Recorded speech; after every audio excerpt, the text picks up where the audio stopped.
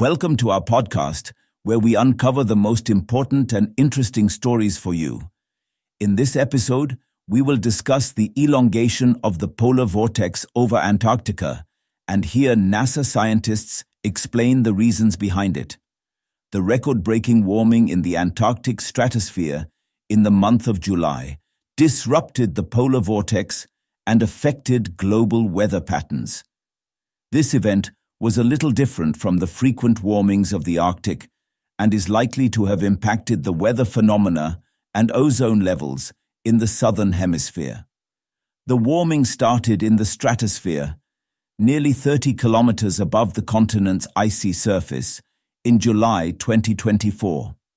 In the month of July, the temperatures in the stratosphere above Antarctica remain around minus 80 degrees Celsius the scientists recorded 15 degrees Celsius temperature in the middle of the stratosphere on July 7th, which set the record of the warmest July temperatures seen in the stratosphere in the Antarctic region. On July 22nd, the temperature decreased only to rise to 17 degrees Celsius on August 5th. NASA's Goddard Space Flight Center's atmospheric scientists, Lawrence Coy and Paul Newman, were surprised to find this sudden stratospheric warming. Coy and Newman worked on data assimilation and looked into the models of Earth's atmosphere created for NASA's Global Modeling and Assimilation Office, GMAO. The July event was the earliest stratospheric warming ever observed in GMAO's entire 44-year record, said Coy.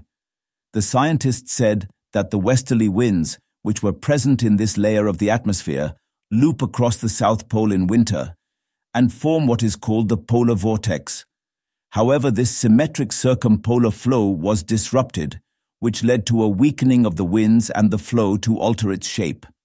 The polar vortex, instead of circulating the South Pole, turned elongated and the winds weakened, which caused considerable stratospheric warming over Antarctica. The researchers have been investigating what was the origin of disturbances which led to the disruption of the stratosphere? Variations in sea surface temperatures and sea ice can perturb these large-scale weather systems in the troposphere that propagate upwards, said Newman.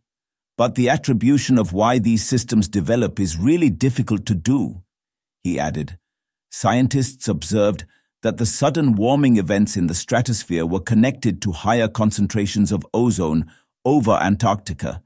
They observed that the change of circulation led to stratospheric warming events, in which ozone is drawn from other latitudes toward the polar region.